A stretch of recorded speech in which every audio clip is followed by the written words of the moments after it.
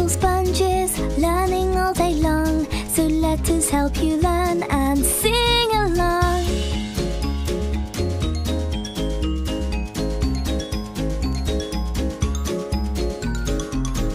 It is always fun to learn new languages with us because we are very smart and adventurous. Little sponges, hooray!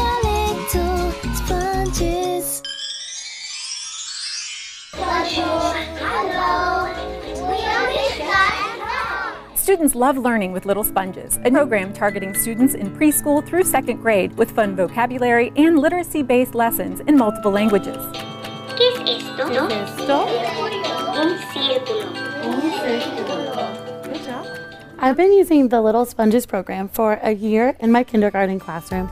It was really easy to implement because I was able to use the Little Sponges program right alongside our school curriculum and I was able to connect the vocabulary and use those real life visuals and use the puppets interactively with my curriculum so they tied right together. Butterfly. Butterfly. Students who come from um, perhaps uh, a background of poverty they tend to come with limited vocabulary. And this is an excellent way to really increase their Spanish vocabulary, their English vocabulary, and really position them at kindergarten for success as they start through our program.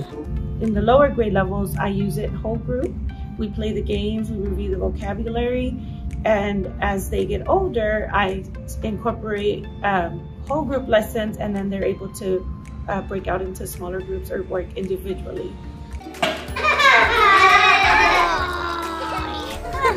Es un árbol de manzanas.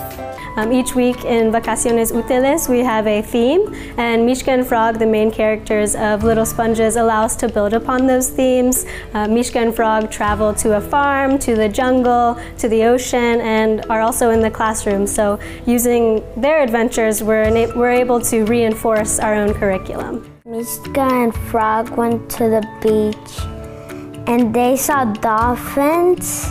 I learned new words like seahorse, shark, and stingray. Stingray.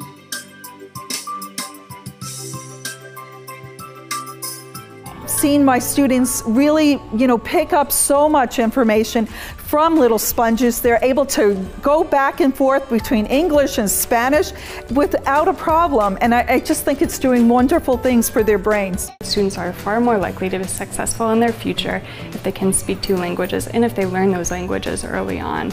Um, so we definitely saw that in our program this year, especially with our preschool class. They tested 47% higher in English and 45% higher in their Spanish language abilities at the end of the program. We lose our facilities and our ability to actually learn languages as we grow.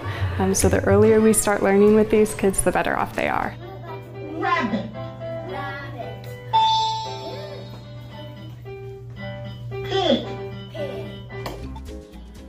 And I want to, I put this in here because, do you see this little guy right there? Let me show you that again. You talk about an authentic reaction. Look at that. You don't get that when they're not engaged. Engagement is the key to learning. Look at their quizzes. 90, 90, 100. They are gaining both in English and in Spanish. This year, I've already exited 50% of my ESOL population, including one kid who was brand new to country.